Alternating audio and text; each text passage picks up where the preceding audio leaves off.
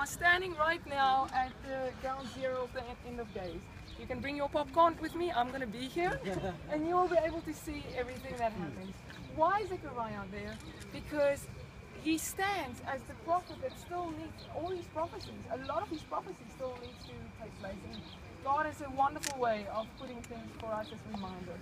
So that's where you see that. Also, you will see next to the tomb of Absalom. Why? Because this is the very valley when David um, tried to escape from Absalom. He went through the valley of Kidron, went up to the Mount of Olives. So everything happened right here where we.